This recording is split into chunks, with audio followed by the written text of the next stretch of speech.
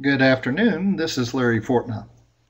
And today I'm going to be speaking to you about 3D printers and more specifically about the DaVinci 1.0 3D printer manufactured by XYZ Printing. If you could hold your questions till the end, I think there'll be ample time to answer them. But before I get started, I would like to tell you a bit about myself as it relates to 3D printing. Uh, because I'm a semi-retired software programmer and I became interested in CNC machines after leaving the corporate world and starting my own company uh, when I ended up working 18 hour days and I decided enough was enough and I took up radio control modeling as a hobby to get away from it all and I started refusing new jobs. So I began using these CNC machines with two-dimensional drawings to create aircraft parts uh, out of foam that I then turned into flying models. But there always seemed to be plastic parts that needed to be purchased to complete the airplanes, so I was making a lot of trips to the hobby shops to buy them. And then one day I discovered an uh, extremely economical 3D printer that can be purchased on a budget, such as a retired person like myself can afford. And so for the cost of one or two airplanes, I could get a 3D printer of my own and make my own parts. And I remembered the first time that I saw a 3D printer in operation, and it was on a late night TV program where they made a working crescent wrench, and you may have seen it. Uh, it was an eye opener to me but it was obviously out of my price range, and I never really expected to be able to own one. But all of that has changed. I was able to purchase my XYZ printer for under $500. In fact, it was on sale at the time for 399. However, the majority of the 3D printers that you can purchase today are still priced in the range of $1,200 and up. The DaVinci printer just happened to be in the lowest price I could find and, and still is to my knowledge. And most of the 3D printers that you can purchase today are not designed to be aesthetically pleasing, whereby you could have them in your living room like I do with my XYZ printer. But ironically, after getting my 3D printer, I stopped flying radio control aircraft, wouldn't you know it? But I have still found a lot of uses for my 3D printer.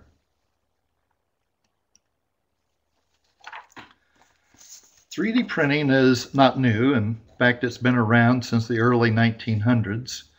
And today it is a highly industrial grade 3D printing process used in the production of real aircraft parts and such that could not be manufactured any other way. Now, there are quite a number of different 3D processes. Some uh, use a liquid with infrared lighting, and some use powder and lasers, and some even use food. But the 3D printer I'm going to discuss today uses ABS plastic filament, which is extruded into 3D shapes that you can design with free software. This process is known as freeform fabrication. It is a slow process, but for home use, it works just fine. And for mass production, one could create an object and turn it into a mold, whereby many parts could be created economically.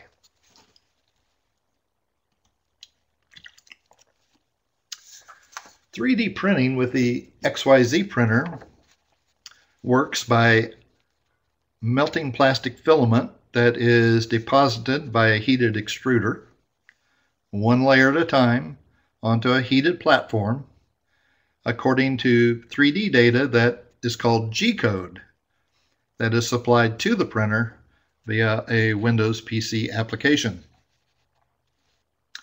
Extruders melt the ABS plastic by heating the plastic to roughly 428 degrees Fahrenheit, and they deposit the extruded plastic onto a heated glass bed that is then heated to approximately 200 degrees Fahrenheit. the plastic comes out of the extruder at about the width of a human hair or a little larger. And each layer hardens it is, as it is deposited and bonds to the previous layer. There are two kinds of filaments, one called ABS and one called PLA. And the XYZ printer is only designed to use the ABS filament. But with a few modifications, it can also print PLA, which requires a higher temperature setting. We will talk about those modifications a little later on in the presentation.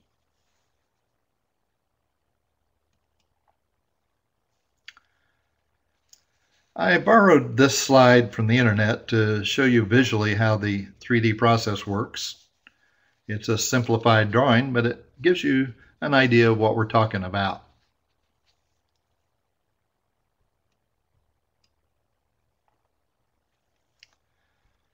So let's talk about the hardware. A 3D printer uses stepper motors to move an extruder along the three axes and to advance the filament into the extruder. In order for the plastic to fuse together properly, it requires a heated bed, which is typically heated to around 92 to 94 degrees Celsius or 200 degrees Fahrenheit. The size of the bed is 7 inches by 7 inches or 200 millimeters by 200 millimeters. The bed raises to accommodate a 7 inch high object. So the largest size of an object that you could print would be 7 inches by 7 inches by 7 inches. There's a control board that converts the G code to electrical impulses that drive the stepper motors and regulate the temperatures required to extrude the plastic into a 3D object. And of course, you can't forget the raw material, which in the case of the XYZ printer is ABS filament.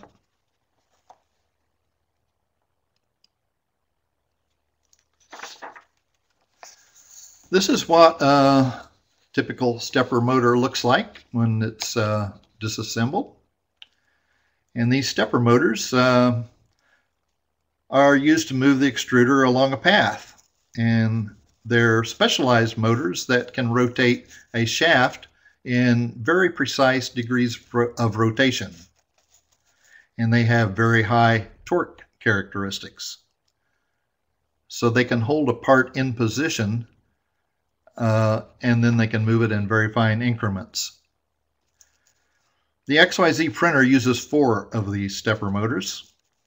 One is used to control the X axis, one is used to control the y-axis, and one is used to raise and lower the heated bed on the z-axis, while the fourth and final stepper motor is used to push the filament through the extruder.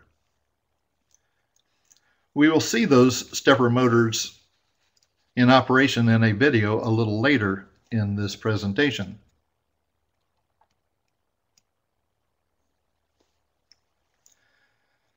The heated bed consists of a layer of glass on top and a heating element under the glass. And this whole platform is then spring loaded in the event that the extruder should meet some type of resistance when it is unexpected. We generally apply a layer of glue from a glue stick on the glass surface to help the first layer of plastic adhere well to the glass. There are also some expensive Kapton tapes that can be used, and these tapes can cost around $50, so I prefer to use cheap glue stick. If you do use the glue stick, it's a good idea to clean it from the glass periodically to ensure that there's a clean adhesion of the plastic to the glass surface and some glue sticks work better than others, as I have found. And I find that the Elmer's Craft Bond glue stick works best, and it can be cleaned from the glass surface with rubbing alcohol. And while we're talking about the heated bed, I should mention the tools that I use to remove the plastic once it has hardened. The best way to remove the plastic is to allow the bed to cool, at which point the plastic will separate from the glass on its own. But sometimes I get a little impatient and I don't want to wait that long, so I use a razor blade scraper to pop the part from the glass. The XYZ printer comes with a plastic spreader that is used to separate the parts from the glass, but it can't get under those parts nearly as well as a razor blade.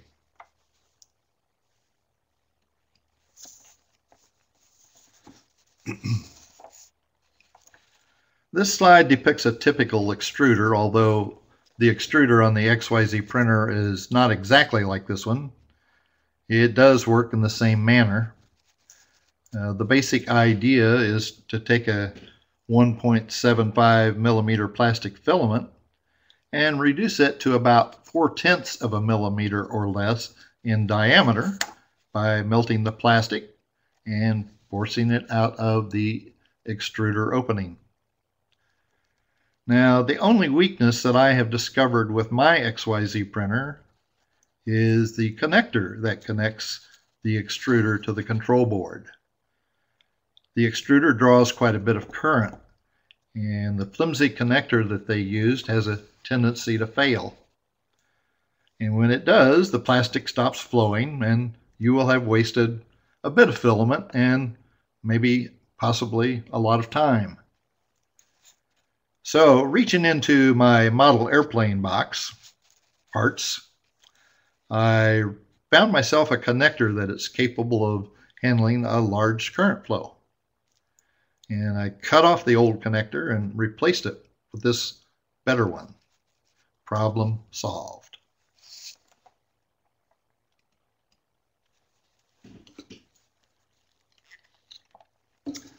Like inkjet printers on the market today, the XYZ printer company sells the printer for a low price and makes it up on the other end when they have you purchase filament for it. The printer comes supplied with a cartridge that contains an EEPROM uh, that stores the amount of filament left in the cartridge, and the EEPROM tells the controller when it is running low on filament, and it can pause the extrusion process if it runs out of filament during the print. The cartridge itself is about a third of the cost more than that of ABS filament on a two pound spool, and it does not contain as much filament as you would get on a typical two pound spool that sells for under $20. So, enterprising hackers have figured out how to reprogram the EEPROM in the cartridge to restore it to the full cartridge setting. So this allows you to purchase standard two pound spools and use them in place of the cartridge filament. So then you can purchase a 3D printed cartridge resetter that is battery operated and will reset your filament cartridge by simply inserting it into the bottom of the cartridge and pressing a button for about five seconds. So one of the first projects that you'll probably want to print with your 3D printer when it arrives is an ABS filament spool holder that fits on the back of your printer. There are many ready-made STL files just for this on the internet. And this assumes, of course, that you're going to hack your XYZ printer.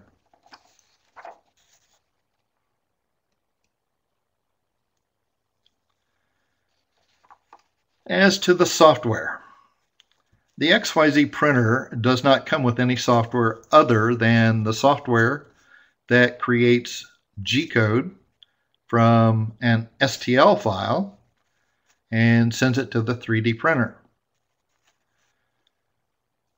G code is machine language that the machine understands, and STL files are called stereolithography files uh, that are 3D representations of an object.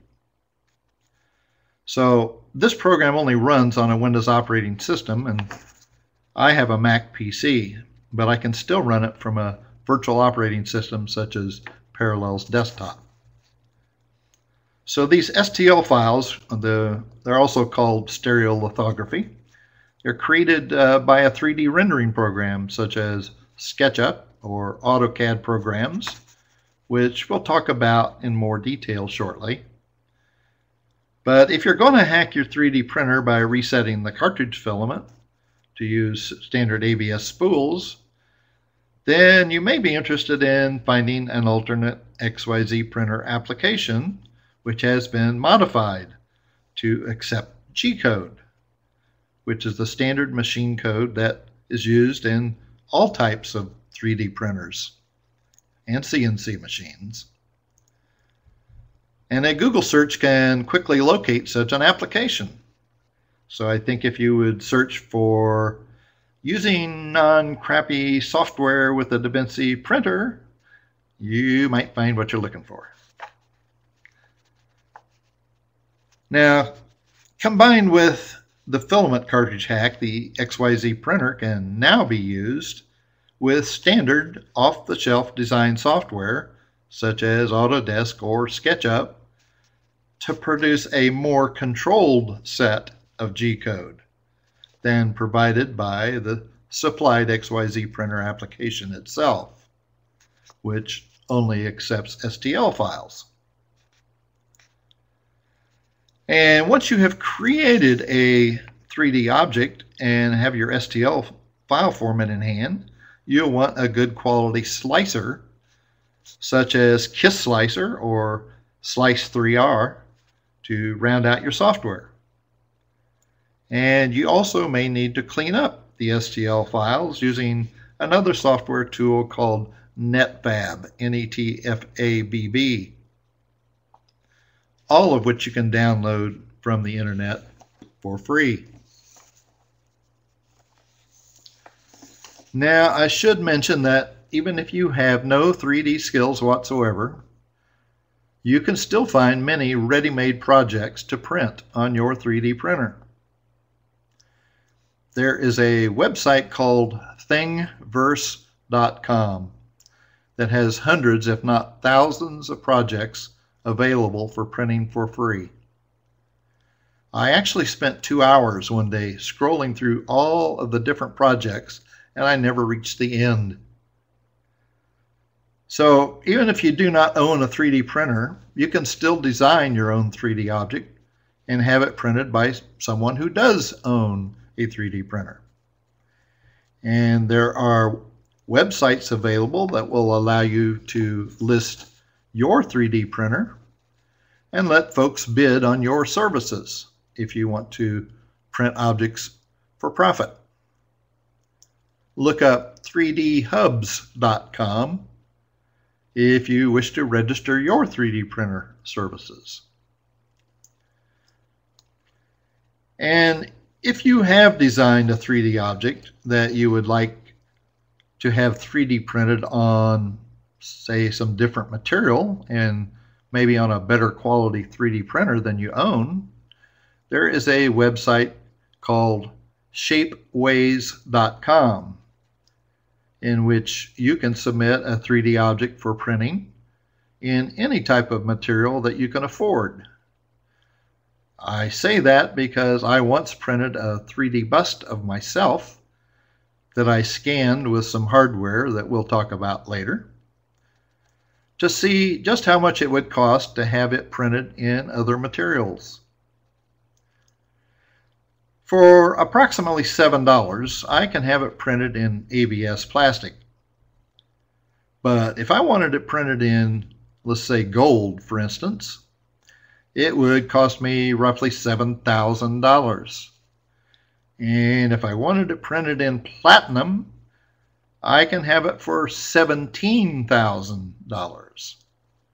So the bottom line is that the tools I'm going to show you shortly can be used whether or not you own a 3D printer.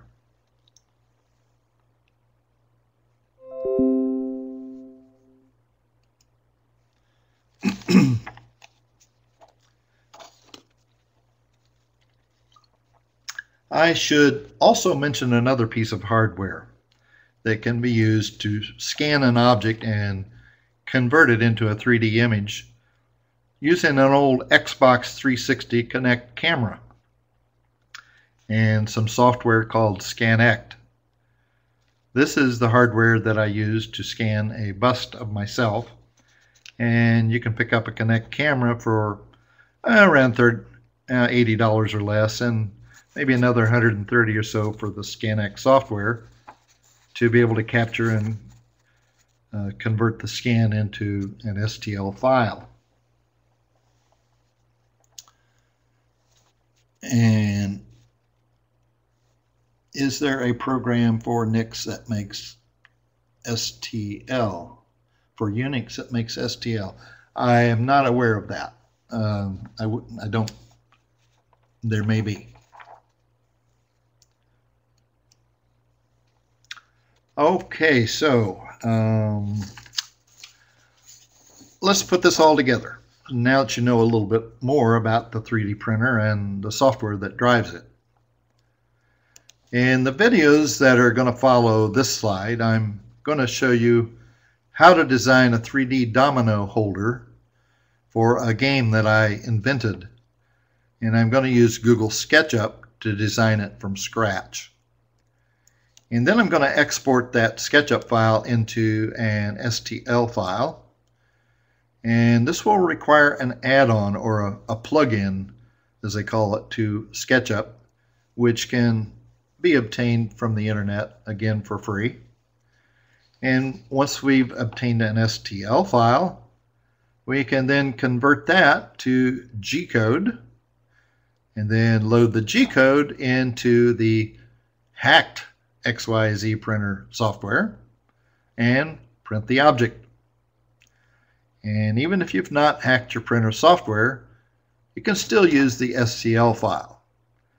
You just can't control the quality of the print as nicely.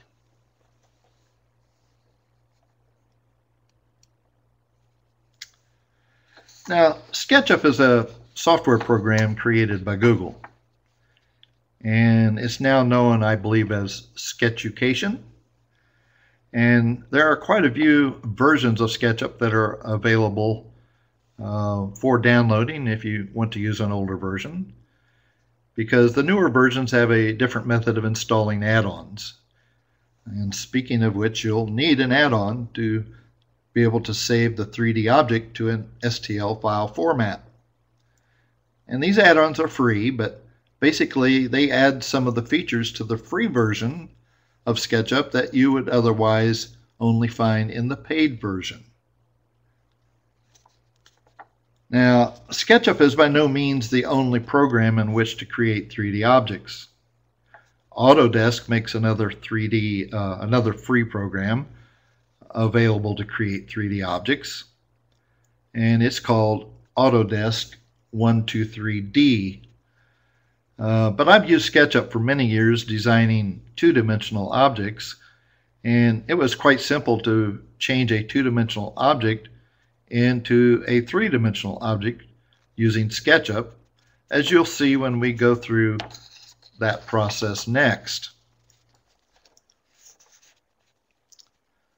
So Huey, if you could start the slide. Thank you. Um, this is the two-dimensional object, and I'm going to select a tool from the uh, left side here called a push-pull tool. And this will allow me to pull that two-dimensional object into three dimensions. It gives height to the object.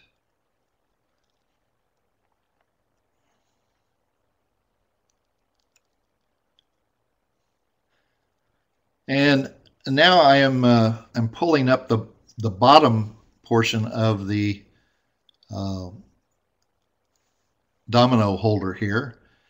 And this one particular um, area that didn't turn white, it kind of got me baffled. I didn't quite understand why it was doing that. Uh, so I kind of moved my mouse around a bit trying to figure that out. Um, but essentially, uh, when they change colors to white, uh, they're more apt to come out properly when you export it to STL. So if the faces, which is what these are called, are reversed, um, it's possible your 3D object will require some touching up with Netfabb. So again, I'm going back to this one piece that didn't quite like me. And I'm trying to figure out what to do about it. So I decided I would erase it, and that was probably not a good thing to do. But I'll go to the bottom side here and see if I can recreate it.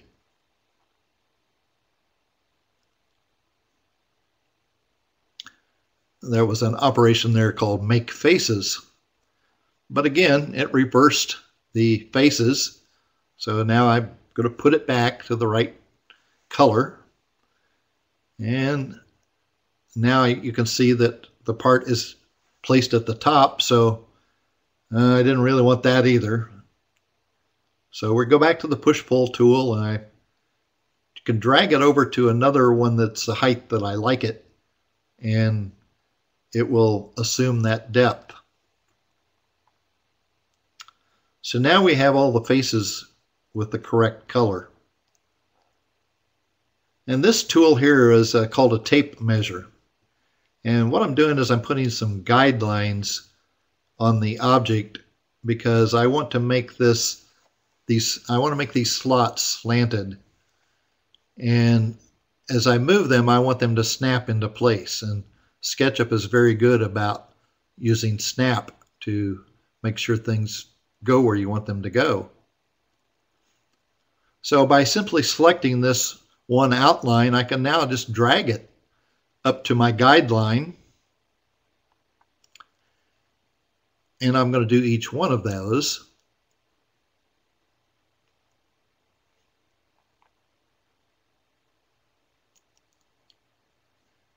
And what we are accomplishing by doing this is we're putting a 30 degree angle or so into this domino holder so that when the domino is placed in the tray, it's viewable to the user.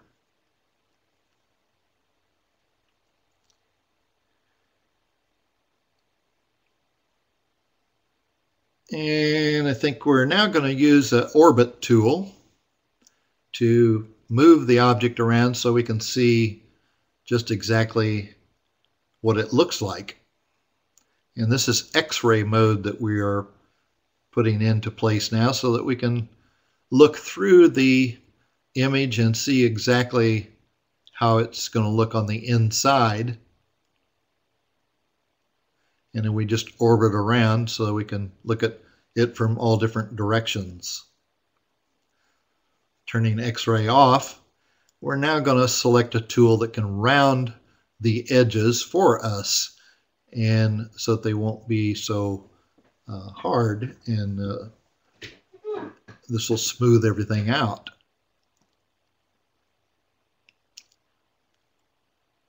And there we have it. With one operation, we again, this is another plugin that you need to get for SketchUp. It doesn't come uh, native. It's called Rounded Corners.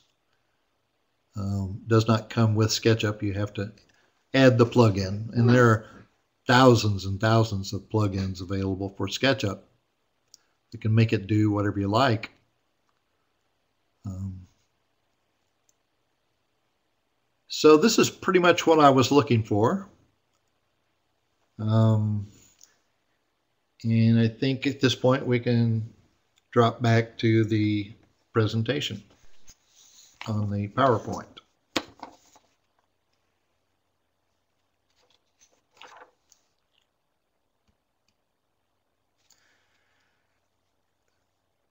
Now, uh, now that you have an STL file, uh, the next step would be to slice it into G-code. And that can then be loaded into your hacked XYZ printer executable. And so in the next video, I'm going to demonstrate using a, a slicer program called SLIC3R. It's a funny way of saying slicer, um, but there's another popular slicer out there. It's a free one also that's called KISS Slicer. Slicer. Keep it simple slicer. Um, and both of these do a, a, fine job of slicing that 3D object into layers, which the 3D printer can then uh, handle and print. So if we would start that uh, video now. Uh, I may stop this one here because I went pretty quickly through this. What I'm doing here is selecting that STL file that uh, that I created in SketchUp. And there are four tabs down here at the, the bottom uh, which allow you to view the object in 3D or two dimensions or you can preview it uh, which we'll show you in a minute and we can show you the layers as they are formed. Um, you can also, up in the upper right hand side, you can change the print settings and the filament and change different printers. And this is where you would either export the STL uh, in case you've cleaned it up some, uh, or export it as G-code to be used in a uh, hacked 3D version of the printer software. All right, we go back here to the 3D uh, view and and then I'll go to the preview view. In the preview view here, um, we're looking at the very top layer and it kind of gives you a rough visual estimation of what it's going to look like when the layers are formed on the 3D printer these areas uh, around the outside of those slots are called perimeters. Uh, and you can define the number of perimeters that you wish your 3D object to have. And I believe this one is set for two perimeters.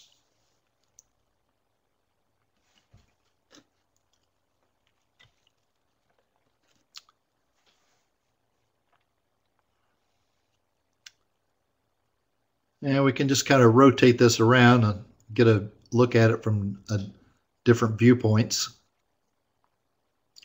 And then I'm going to select layers. This little slide bar on the right hand side allows us to look at the layers starting the very first layer all the way up to the very last topmost layer. So we can get an idea of exactly what our object is going to look like when it's uh, being processed on the 3D printer.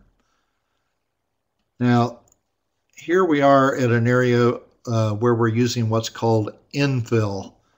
These little uh, hexagon shapes here fill in the uh, the plastic area so that the uh, plastic can be formed over the top of it and not cave in when we get to the top layer. So it doesn't have to be a solid object. It just has to have some sort of support. And that's what infill provides. So we're just going on up through the layers, getting towards the middle part now where we start actually seeing the slots uh, appear. and we'll just continue to move the slider on up until we get to towards the top and that's our top layer.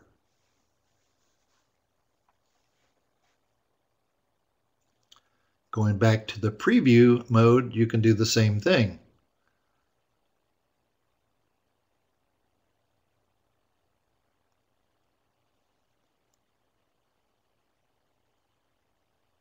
Now, if we go to the print settings, we have an area called layers and perimeters, and this allows you to define the layer height of the extruded material. So uh, 0.25 millimeters is what this object was selected for. So the smaller this value, the longer the print will take. And again, I've set up two perimeters and you can have as many as you like, but that's the minimum. And I've set it to have at least three top and bottom solid layers. When we go to the infill operation, we find that I've set this one to 15% density and I've used a honeycomb pattern for the uh, fill pattern and the top and bottom fill is a rectangular pattern.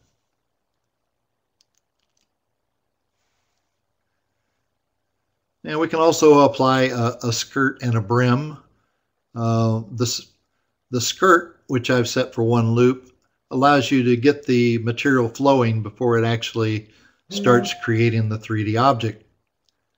And I can set the distance from the object, in this case, six millimeters. Some objects uh, may require supports, and this one did not but you can set up your support parameters here. And you can also then set up the speed at which different portions of the print take place. So perimeters uh, are set to run at 35 millimeters per second and small perimeters at 20 and external perimeters is 70% of the full value.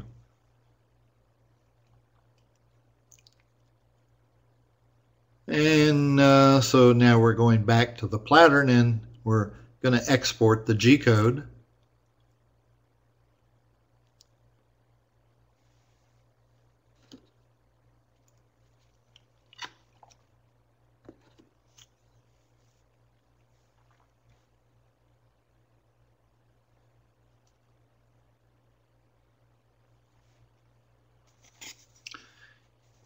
And I believe that completes that uh, particular slide presentation, Huey.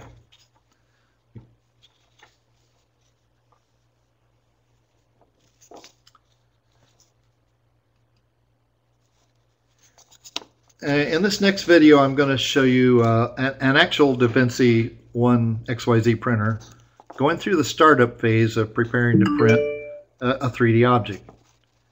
And you may wonder what the difference is between a 1.0 printer and a 2.0. Uh, the, and the difference is the number of extruders. The 1.0 version only has one and cannot print multiple colors, whereas the 2.0 version can and sells for a, about $100 more. So let's go ahead and start that. And uh, this particular um, screen opening here is showing that the extruder is heating and it needs to go up to about 220 degrees centigrade and the platform needs to reach 90 degrees centigrade before it's going to start printing. And once it does start printing, it's going to try to clean the extruder. So we'll watch that happen next.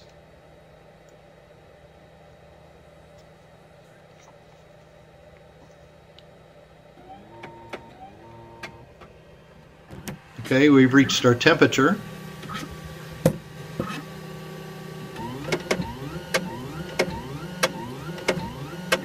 And now the printhead is being, the extruder rather, is being cleaned.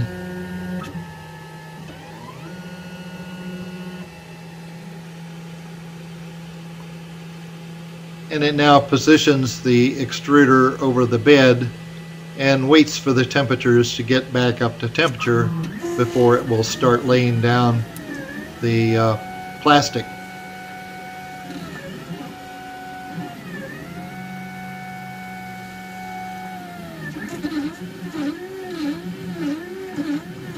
this particular object was a keychain.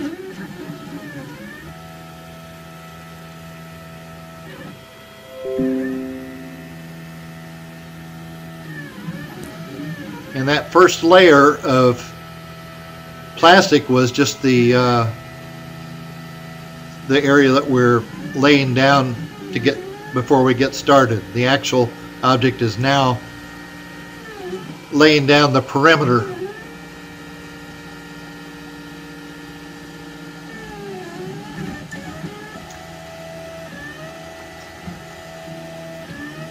And I see we're running a little bit out of time. I'm going to, Huey, go on and continue out of this. Um, there are some more things I would like to talk about. Um, probably won't have time. Um, but anyhow, once you have, uh, uh, let's get into the post-production here. Um, to skip the next one. So um, now that you've printed your 3D part, you'll notice it may have a lot of ridges in it.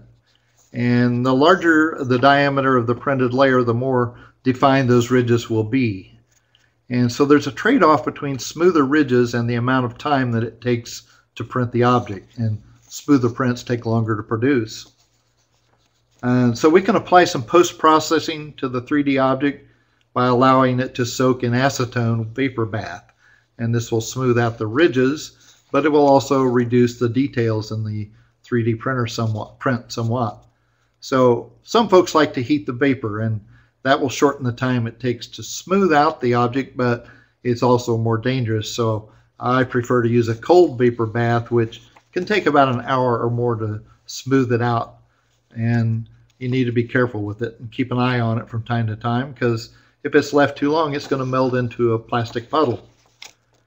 And so I buy some plastic containers at Lowe's that are similar to Tupperware, and that type of plastic is not affected by acetone. And I can then place a paper towel in the bottom of the container and soak it with the acetone, and then place aluminum foil on top of that to keep the plastic from touching the acetone directly. And then I cover the container and let it set for about 30 minutes and check it every 10 minutes or so till I feel the object is about as smooth as it needs to be, but it will continue to smooth out even after it's taken out of the vapor bath. So it takes a little experimenting to learn just when is the best time to pull the part from the vapor. Um, now, I have made a great deal of objects with my 3D printer, but one of the things that came out very well was a game board that is comprised of multiple pieces of plastic printed on the 3D printer and then glued together using PVC cement that you can purchase at the hardware store. Uh, this allows you to create a, create a much larger object that can be that can be printed uh, in a single print on your 3D printer. So this particular game board is called Fast Track. It contains 157 magnets and each magnet has a printed 3D printed magnet holder that was glued into position either on the game board or on the player pieces themselves. And the railroad track was made out of about eight individual pieces uh, that were then glued together. Now, everyone loves playing on this board because the playing pieces snap into place. And it took me nearly a week to print all of the pieces and but it's a one-of-a-kind board that I'm very proud of, and and I couldn't have made it without the assistance of a 3D printer.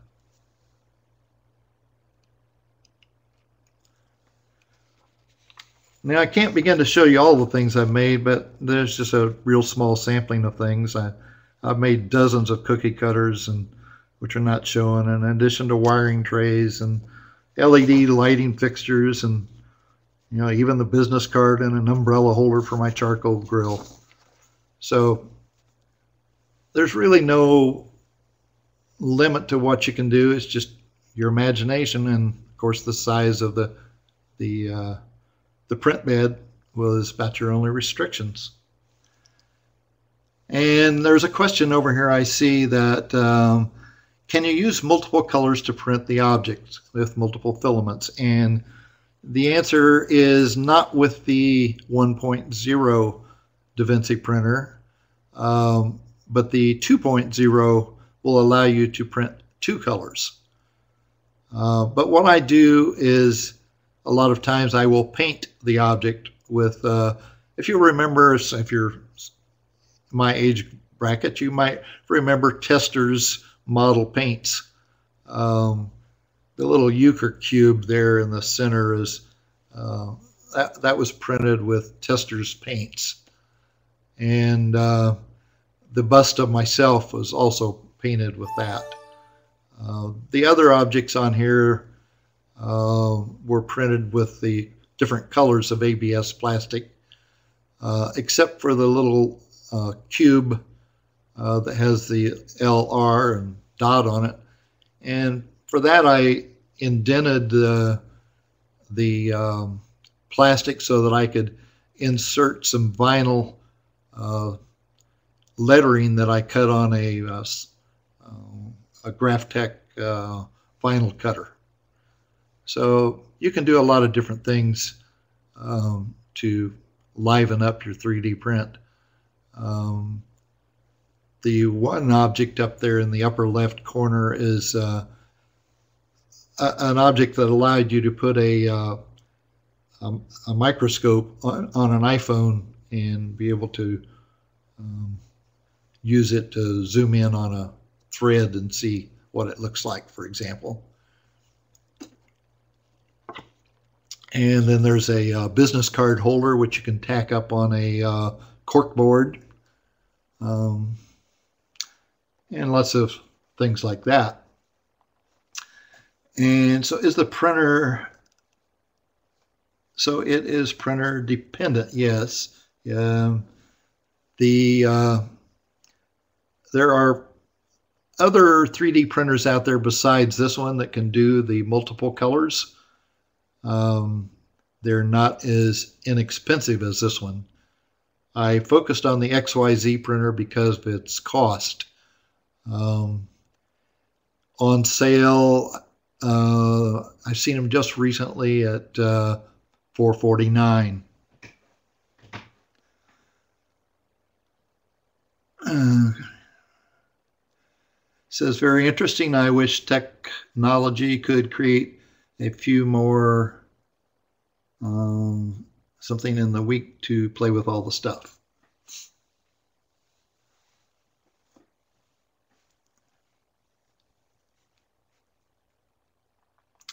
And uh, Leah says uh, she wished technology could create a few more days in the week to play with all the stuff. Amen to that. Uh, even being retired, I don't have enough time for all of my hobbies and things that I like to do. So if we could 3D print some time, that would be excellent. So uh, that concludes uh, my presentation. I want to thank everyone for watching. Uh, again, if, if you have any questions, uh, now would be the time to ask them. And again, my name is Larry Fortna. And my email address is larryfortna at gmail.com. If you think of something that you would uh, like to ask about, feel free to email me. Um, and I would be more than happy to try to answer your questions.